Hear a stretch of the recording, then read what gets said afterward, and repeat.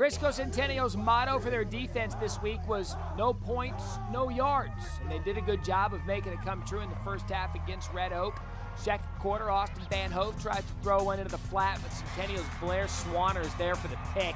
On the ensuing drive, Chris Johnson goes in from three yards out, the Titans led 20 0 at the half, leaving Red Oak searching for ways to score.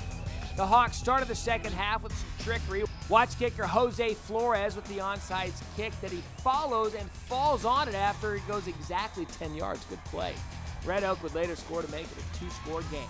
But Centennial controlled this game throughout. Quarterback Lamar Jordan on the four yard keeper right into your living room. The Titans win 40 to 14 and will face John Tyler next week.